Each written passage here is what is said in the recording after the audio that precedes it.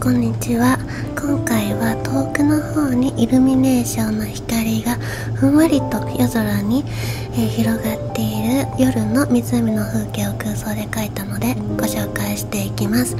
このチャンネルは写真を見て描いたりする描き方ではなく何も見ずに心の描写をする、えー、描く過程をご紹介しています。そのため目で見た現実世界とは異なります。心で感じたものを誇張して描いております。では色の説明をしていきます、えー、まずターコイズグリーン。ターコイズブルー。コバルトブルー。ピロールレッド。アゾイエロー。アゾオレンジ。ローシェンナ。ローアンバ、えー、チタニウムホワイト。ランプブラックです。うん。あカラフルな感じですね、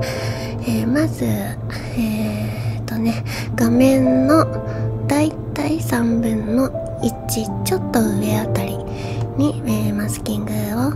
テープを、えー、はめてまずは陸の部分と空の部分の境目の部分を、えー、まずマスキングしておきます。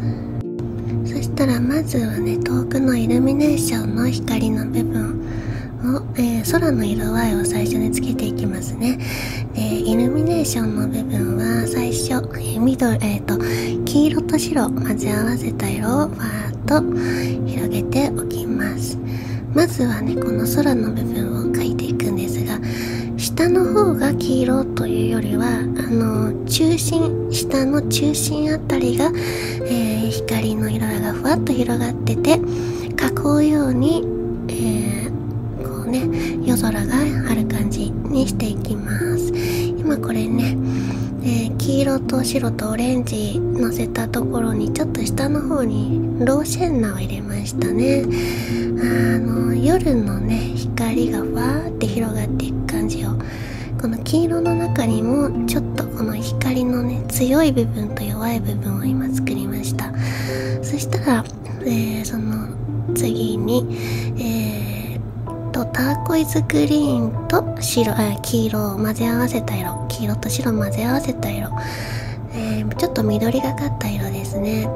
こういった色もほんのちょっと部分的に入れておきます。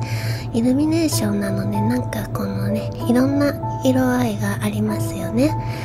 で下の方はまずわーっと広げておきます。そしたら今度はコバルトブルーに赤。を、えー、少しずつ混ぜて若干紫がかった色合い。にして濃い青色をね思いっきり上の方にファーッとのせていきます。そしたらターコイズブルーをその筆のまま取って少しさっきの色に混ぜながら下の方はほんのり明るい感じの色合いになるようにしていったら、えー、グラデーションをまずここでつけておきます。でこの境目がね、まあ、あのー、パチッとなっているのでここの部分をぼかしていくんですがこの時にねこういう風にグラデーションにしていくとまあグラデーションにはなるけどもなんかこのね、えー、イルミネーションの光がふわっと空にふんわり広がっている感じではなくなってしまう。なのでここで両サイド黄色の両サイドのところも暗くしていきます。でこういう時にあのねこのグラデーションをきれいにつける時にこのようにねいつも空を描く時みたいな描き方。でこうなってしまうとこれあのねこのイルミネーションの光って感じではなくてただのね夕日のね空の感じになってしまう。なのでこの周りの部分をね暗くしていきます。でそうした時にこういう風にね筆の跡がいっぱいついてしまったりする。こういう時は絵の具の量が足りない時。絵の具の量が足りなくて水が多い時ねこういう風にラインがつきがちになってしまう。かといってね絵の具だけが多すぎてもボス、あのー、ガサガサとしてしまう。のでそこの分量を変えながら最後にこれね乾いた筆でふわふわの柔らかい筆でねくるくるくるくるっとね回すようにしてぼかしていくんですね。このように、えー、ふわふわふわふわっとぼかしながら全体をぼかしていくとここにね明るいのがあってふんわり広がっているなっていうね感じの光になりますね。さっきのままだとねただの夕日の光になってしまう。綺麗なグラデーションでもこのね人工的な光ではなくてね夕日の光になってしまう。でこういう風に中心の部分だけがなんかね地上でなんか明るい光があってふわっと夜空の方に光が、広がっている感じがね出てきます。そしたらここでねまずこのイルミネーションの前の部分の木。ここの木っていうのは、えー、向こう側に木にもねイルミネーションの光が反射しているのでまずは明るい色を向こう側の木の色としてのせておく。でこの手前側は影になってくるので、もうこれはね黒で描いてますね。黒で、えー、手前の方は暗い色合いにしていく。で一旦、えー、ざっと描いておいたらここから細かくね木の部分描いていくんですがこのようにあの細いね平筆小さな平筆を斜めに持ってちょんちょんちょんちょんとこうね描いてあげるとなんか木のようなねこのクリスマスツリーのような木のような感じを描くことができます。これでまずね全体をバ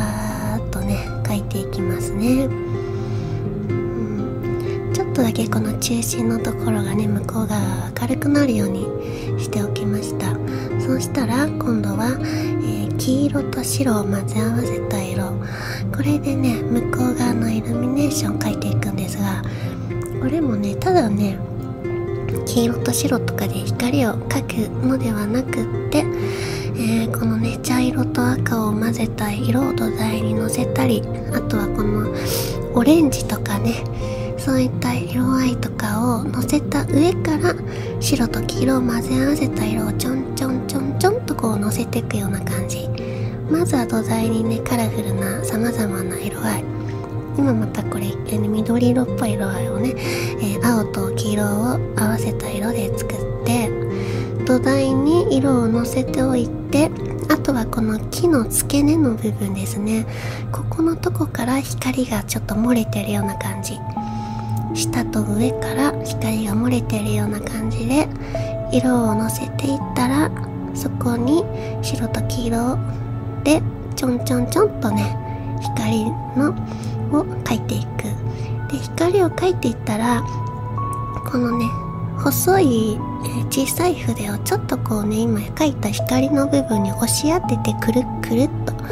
指でくるくるっとちょっと回すような感じにしてあげるとあのふわんとね広がった光なねちょっと周りがぼやけたようなね光をね描くことができます。こういう感じでねちょっとぼかしておきますね。そしたらねこの時点でまず一旦ここは乾かしておきます。その間に、えー、湖の方の色合いを描いていきます。湖の方は空の色合いと同じになるようにまずは青と赤を混ぜた色で描いたらこのイルミネーションの光が漏れているところは黄色。でそこにでタコズグタコイズグリーンとタコズブルーを、えー、入れてそこのグラデーションをつけていく感じですね。うん、で少しずつ色を合わせたら、えー、ハケを下にシャッシャッと下ろしたら横にシューッと伸ばす、ね、水面を描くときはまず色を合わせたら大きめの波形で縦にシュッシュ横にシューッとね動かすことでねあの水に映った感じを描くことができる。そしたらねここから木の反射を描いていきます。えー、これもね鏡に映ったような感じで同じようなジグザジグザグになるように描いていきます。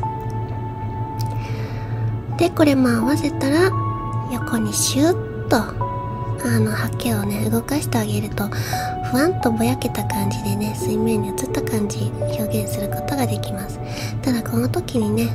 あのー、これうまくいく時といかない時とね私もあるんですけどもちょっとここがね汚い感じになってしまった。こういう時はもう何回でもねこれやり直すことができるので、えー、色をもう一度のせてねやり直しながら描いてでこの光が漏れているところもね少しずつこう点々点々とこう光を湖の方に反射させたらこれもねシャッシャッシャッと縦横という風にぼかしていく。もうこの繰り返しですね。これでね少しずつ光のねカラフルな色も入れながら今度はね木の影を重ねてたイルミネーションの光を重ねてという風にね交互に交互に色を重ねて思い通りのねいい感じになるようになるまでこういう風にね何度も何度もやっていきます。この合わせていく段階では、えー、小さめのね筆を使っあの平筆とかを使使うといいですね。もうあと細かいところの合わせる部分はあの筆をジグザグとちょっと横にねスライドさせながら描いていくとうまくいくかなと思います。でここから今度は水の波紋を描いていきますね。このね水がブヨブヨブヨっとあの風にね、えー、揺られてブヨブヨブヨブヨね水の動きをね描いていきます。この時は、この今描いているねこの緑色がかった部分とこの手前の青い部分ですね。この部分にかけてはこの緑の色合いを、えー、奥の部分とこの手前の部分に広げていくような感じで描いたらそこの、えー、ギリギリのところに今度濃い色を入れていくっていうような感じでね描いていくとこの水の波紋みたいなねこんなブヨブヨっとした感じを表現することができます。これもあの平筆を使って、えー、横にねシャッシャッシャーと動かしながら描いていくとうまくいくかなと思いますね。でこのようにねペインティングナイフを使ってこういったねあの水面に映った感じとかこういったのもねこういう風に描くこともできる、だ今回はねちょっとあのペインティングナイフを使った感じではなくて、えー、筆を使った描き方でね描いていってますけども、まあ、こういった感じでペインティングナイフを使って描くこともできますっていうねちょっとご紹介を今しております。これはこれでまたねほんのちょっと抽象度が上がる感じでこういったねあのならあのペインティングナイフならではの表現っていうのもねすることができます。まあ、今回はね筆を使ってちょっとこうね、えー、した感じにしていく。でここもね描いてるとまた影がこういう風に消えてきたりしてしまう。そうしたらまたここで影の部分を描いてジグザグとさせてでまた光の部分を描いて水の波紋を描いてっていうようにね交互に交互にね重ねていくとねいいですね、うん、この光の色合いも影の部分にかかるように木の影の部分にちょっとこのね黄色とかも光の部分がシャーッと広がるようにしたりそれからこの手前の暗い部分にもねえー、緑の部分にもほんのちょっとこの黄色い光がふわーっと広がっていくような感じにねしたりとか、はい、そんな感じで描いていきます、えー、でここでねさらにねこのイルミネーションの、えー、手前の部分ですねこっち側はこちら側はえー、影になってくるのでね今また影の部分を強くしました。でちょっとこの木木の高さもね同じような感じだったのでここをちょっと高くして高さ変えたいなと思ってねここでね高さを変えましたね。なんかこのね木が高くなっただけでまたちょっとイメージが変わりましたよね。でこれ木を高くすると今度影の部分もね大きさが変わってくるので影の部分も、えー、影を引き伸ばしていく。この時はもうねこう筆を横にジグザグジグザグとねしながら影を入れていくような感じですね。ブヨブヨブヨブヨっとした感じで影の方は描いていきます、うん、でこれねあのあでここで今度星空をね描いていきます。この時は、えー、歯ブラシにね水をつけて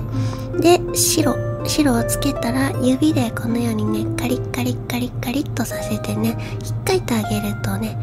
パシャッパシャっとこう白いね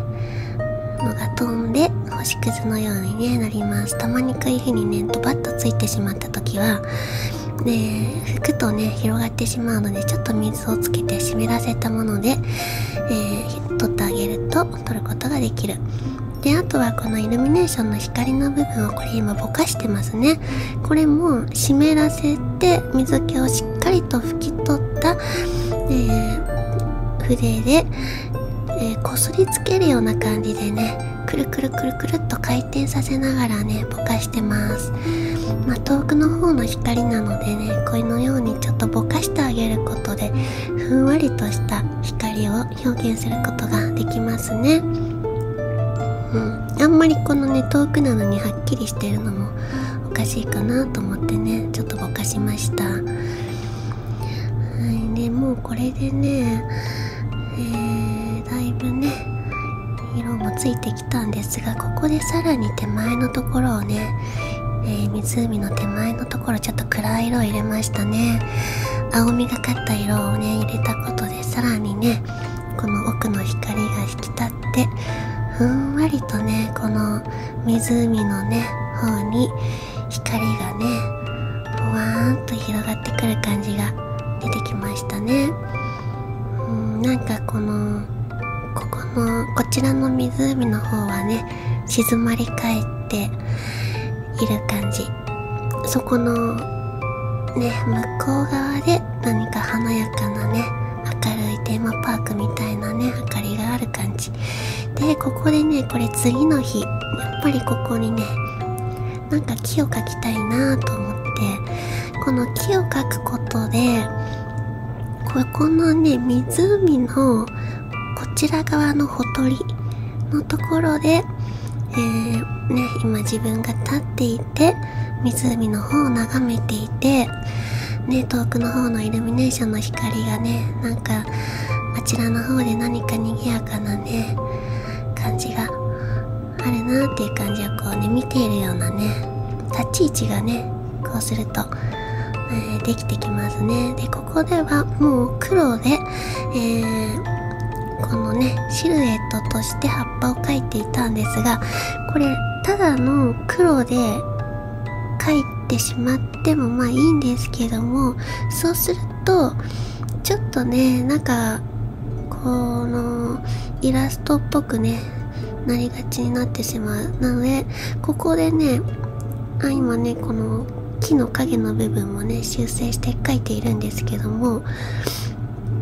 この手前の木の部分ですねこの木の部分もこのローシェンナと黄色と白混ぜ合わせた色でほんのちょっとだけ。